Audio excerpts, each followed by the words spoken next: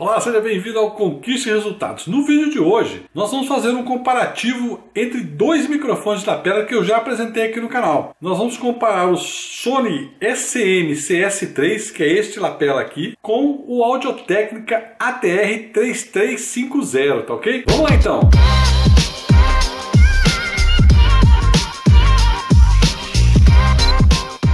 Muito bem, esse aqui é um comparativo que muita gente já estava esperando, ou seja, entre o microfone de lapela Sony SM-CS3 e o microfone de lapela ATR3350. No momento você está ouvindo aí o som da minha câmera, então deve estar tendo mais ruído do que o normal. Mas nós vamos fazer esses testes primeiramente ligando os microfones neste gravador aqui que é o Zoom H1, que também tem review aqui no canal, é só clicar nos cards que você vai ver. Na sequência nós vamos lá no meu computador e vamos ligar diretamente cada um dos microfones lá no PC para ver também como é que fica a qualidade de áudio. E todos os testes nós vamos utilizar como nível básico 50%, ou seja, aqui no Zoom H1 vai estar em 50%. A única diferença vai ser no PC, onde eu vou fazer a 70 de ganho para esses microfones, porque o Audio Technica ATR 3350, embora ele seja um microfone de boa qualidade, ele requer um pouco mais de ganho quando você liga ele lá no PC. Vamos aos testes então. Ok, então nessa primeira passagem nós estamos com o Zoom H1 e o Sony SM CS3. Aqui no Zoom H1 nós estamos com 50 de ganho e o preset aqui é 48 kHz e 16 bits. Eu estou no ambiente aqui que tá um, tem um pouco de barulho, tem uma ambiência. Lá fora está chovendo.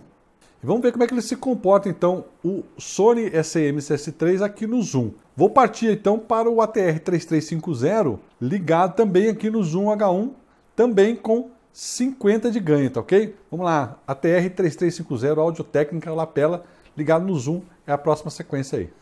Muito bem, desta feita agora eu estou com o ATR 3350 da Audio Técnica, esse lapela que está aqui fixado na minha lapela, obviamente. Bem, veja bem o que acontece aqui. Esse microfone de lapela, ele precisa desta fonte de alimentação aqui, ó, que vai uma bateria dessas de relógio, essas baterias pequenininhas.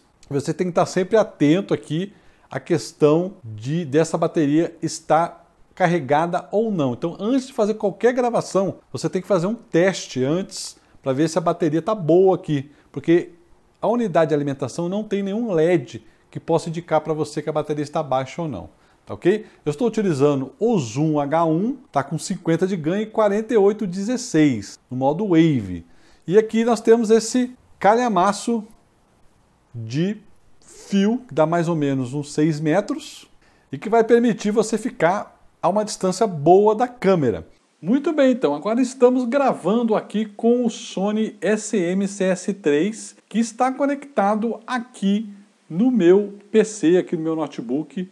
No caso aqui, eu estou utilizando o programa Audacity, ou como alguns conhecem como Audacity ou Audacity. E esse programa serve para você fazer a captação do áudio, gravação no seu computador ou no seu PC. Eu mudei de ambiente, esse ambiente que eu estou aqui ele tem um pouco mais de eco, então você vai perceber um pouquinho mais de eco, mas o importante é que você veja a qualidade do, do áudio do Sony SM-CS3. Muita gente deve estar me perguntando por que, que você não testou o Sony SM-CS3 no seu celular. Um pouco antes de eu fazer esse teste, eu fiz a conexão dele no meu celular, porém eu percebi que o Sony SM-CS3 não funciona corretamente no celular, mesmo utilizando aqueles adaptadores do tipo P3 para P2 combo, tá perfeito? Então fica aí a dica, o Sony SM-CS3 não funciona adequadamente em celular. Existe um jeito aí de fazer ele funcionar, mas não chega a ser uma coisa muito prática para você que quer utilizar o microfone nessa situação. E para a gente reforçar aqui os presets que estão aqui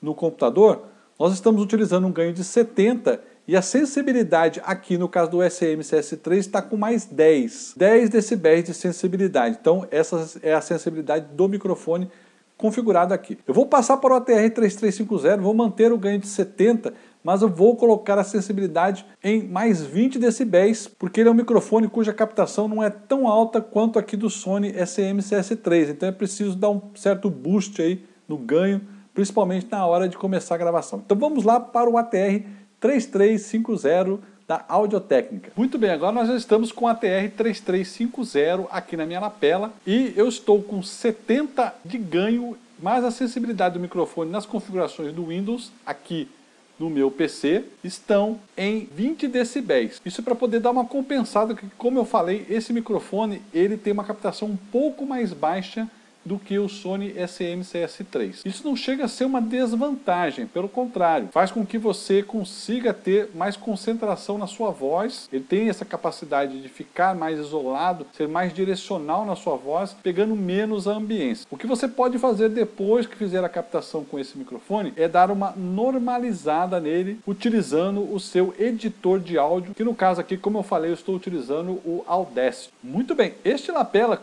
Diferentemente do Sony SM CS3, você consegue ligá-lo no seu celular. Existe um adaptador próprio, que eu já mostrei em vídeo de review desse lapela, é só você clicar aqui nos cards que você vai ver essa situação aí, como você ligar ele no celular, já fiz teste dele com o Boya BY-M1 e com outros microfones aí. Então dá uma clicada aqui na descrição, ou nos cards, ou na tela final, que você vai ter mais informações do ATR 3350 da Audio-Técnica. E antes de a gente passar para essa última fase, eu vou deixar só um pouquinho aqui o áudio da minha câmera, para que vocês possam ver a diferença aí neste ambiente do áudio dos lapelas mais o áudio da câmera.